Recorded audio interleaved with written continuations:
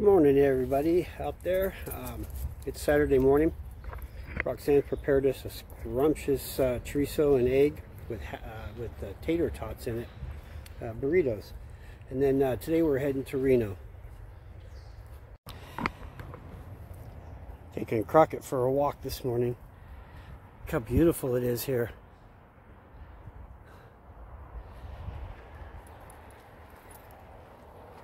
That's the 395 right there.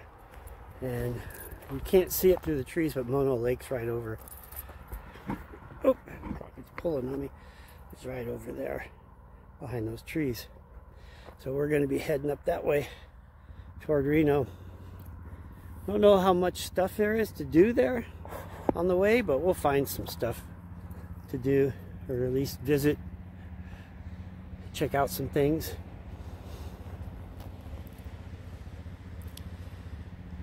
Poor couple right there in that uh, Cruise America RV are from Germany and they're kind of stuck here. They were dumping their gray water or black water or whatever and he wanted to add more water and he accidentally put a bunch of water in the fuel tank. And nobody will help him. Uh, there's nothing I can do. I looked underneath there to see if there was a drain because the water is heavier than the gas. But uh, Ford didn't put a drain on those plastic tanks. Come on.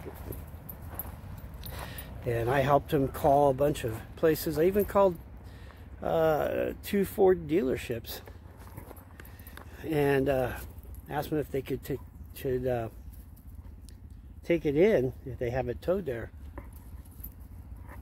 And every one of them said no, they don't have. They're booked up solid for over a week. And I'm like, don't you guys take walk-ins? Emergency walk-ins? No, we don't. Oh, it's a by appointment only. I'm like, wow. So um, I'm not sure what they're going to do. They they called Cruise America, and Cruise America won't help them. Very sad. All right, come on, Crockett, let's go. Go.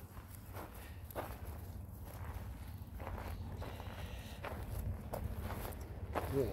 smells a lot of stuff here. No?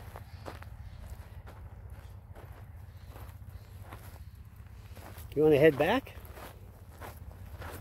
Guess we're heading back. It's a nice springer.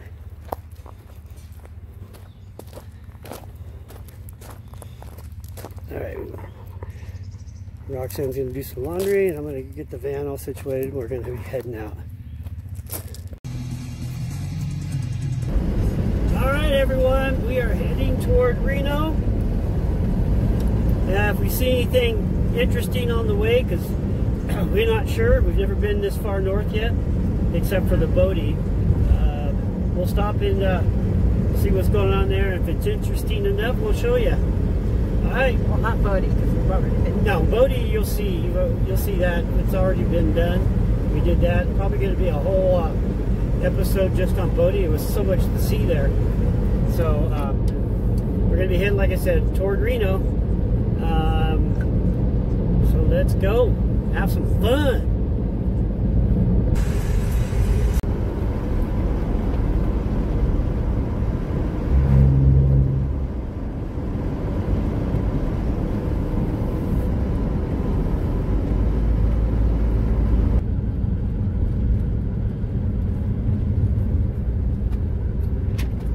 Going to stop, have lunch here at Topaz Lake in Nevada.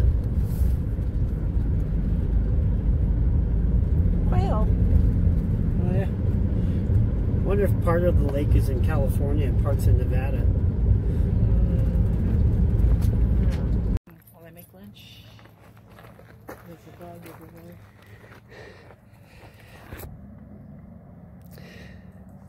Topaz Lake, Nevada.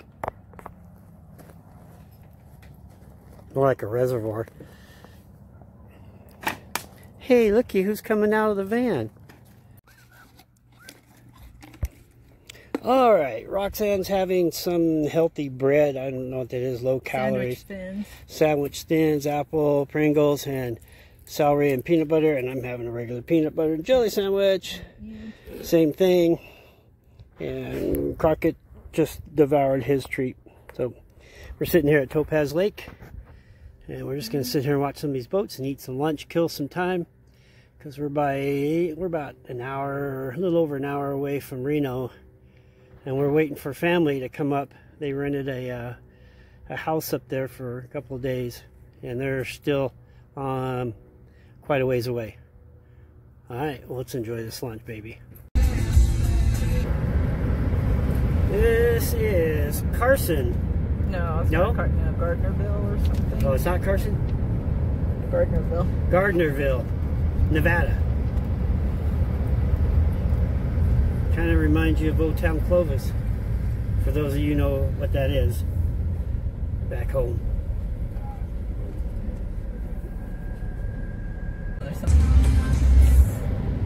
Driving through Minden now, which is just north of Gardnerville. Another cute little town. Lots of casinos. Yeah. Of course, this is Nevada. Yeah. It's really, I mean, a clean. Look at that, 474 for regular. I like small towns like these. All right, folks, we made it to Reno. Everybody's here almost. Almost. This is Brett. This is Junko. Mommy, mommy, say hi to everyone. Hi. Hi. It's very good to see you. It's very good to see you. Like here they are. Okay. All right, we're still waiting on two more sisters here. So uh, we're going to settle in, have some fun with family. And we'll be back on the road uh, probably Monday morning. See you guys. So after Cabela's, we're, now we're heading to Target, pick up supplies, and then we'll be uh, heading out of town. Look at that sweet Mustang.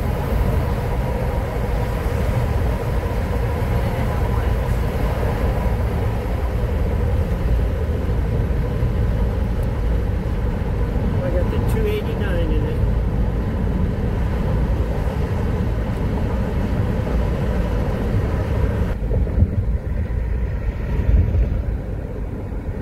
That used to be the Hilton where we got that. Here, Oops, get in the next another lane. You're in the exit lane. I know, I can't get over.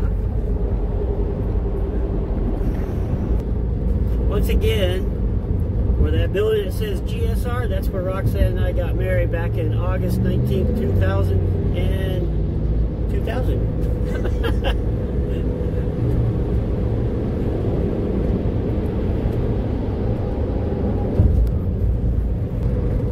All right, folks, we are on the 50 heading east to Roxanne. Austin, where we're going to hopefully see Berlin Ichthyosaur State Park. It's a ghost town and also uh, where they found ichthyosaur fossils. That's Those dinosaurs. Yeah, sea-dwelling uh, dinosaur fossils. So, Looking forward to that. And we'll take you with us too. How about that? That sounds awesome. no brother. Can you guys guess why they call this the loneliest highway in the United States? Because there ain't nothing out here. Nothing.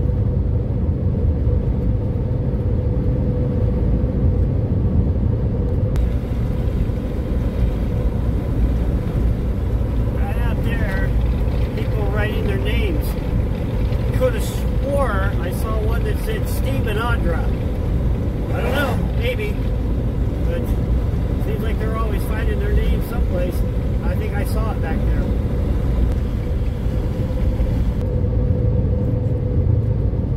Pretty cool looking. Labou Flat. What is it? Labou Flat. Labu Labou Flat. Flat. Pretty cool looking. Ichthyosaur State Park, 51 miles.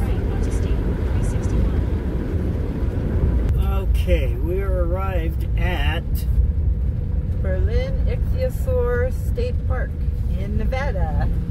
um, there is an old ghost town, the Berlin ghost town, or the ghost town of Berlin. We just passed it. We'll show you on the way out. We're just going to go up and look at these fossils now. Um, up the road here a bit. It's not very bumpy or, or potholey, this road. It's actually pretty smooth for a gravel road.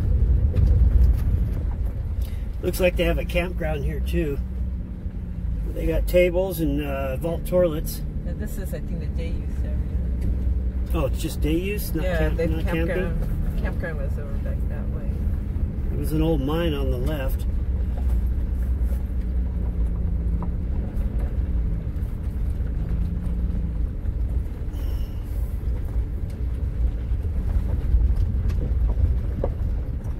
Oh, wow. But I think you're gonna have to stay outside. We'll take turns going.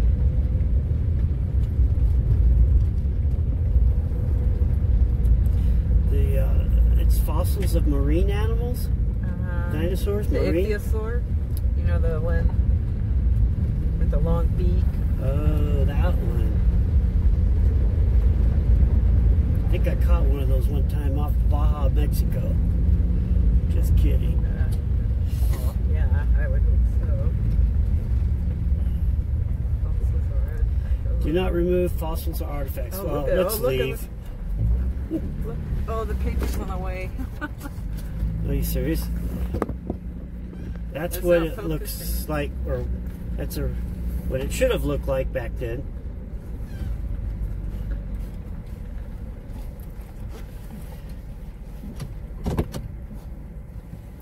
Okay. should be fossils. I don't think they're going to let Crockett in here, so I might have to take turns going in. Yeah. You can go in first. Go over here and see what this says.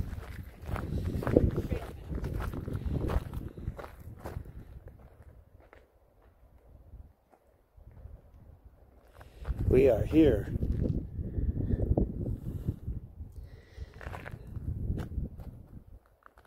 Uh, this looks like there's some lots of hiking involved in this.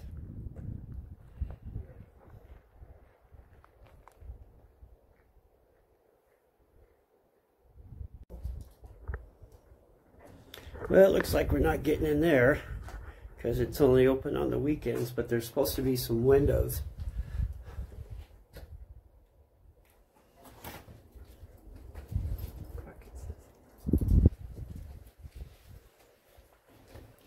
That's one big fish.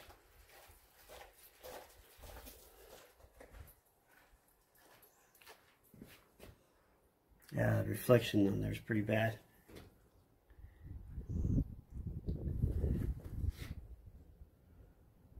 All right, let's go see if we can get through the get through the windows.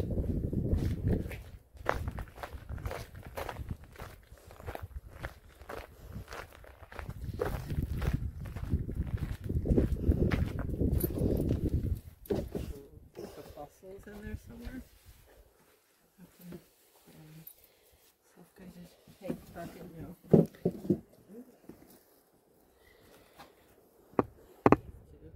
The self-guided exhibit is provided for the letters and stuff. I see A right there, and that says A is part of his skull or his jaw. Be careful when you step back. I don't know how they can tell there's a dinosaur in there. I can't make heads or tails of it. I guess that's why they're professional scientists, huh? All right, we're coming around to the other side. Oh, R. What's R? That looks like. Extending from the vertebrae Q is a well-preserved rib cage. R, which is. Oops, sorry. You can see. Is that the rib cage? R. I. I guess that's a rib cage. I can't really tell. What's you? You looks like something. Right there. See those round backbones. The vertebrae oriented side by side due to water action. So those little Oh, right there.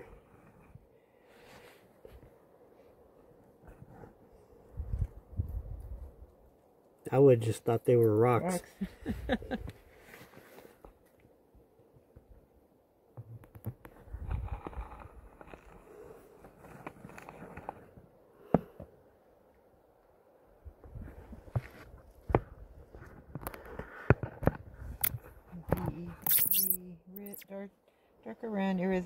cross sections of the ruins.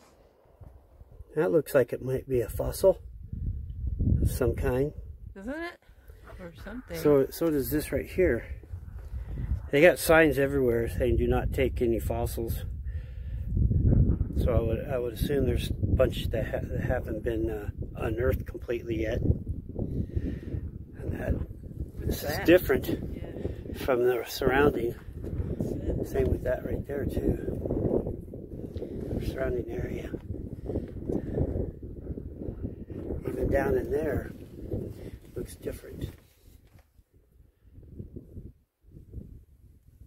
I mean that looks like something's petrified. Yeah. Right there. Is that a tooth? I don't think so, but there's this is something. Interesting. Even right there, look. That's a different. yeah. You can almost see different layers, probably, you know, from different centuries or whatever.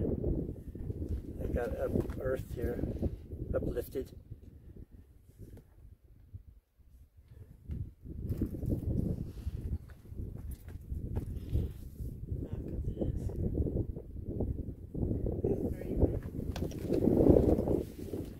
Can you imagine this one time was all ocean? Have a creature that big in here, it had to be, huh?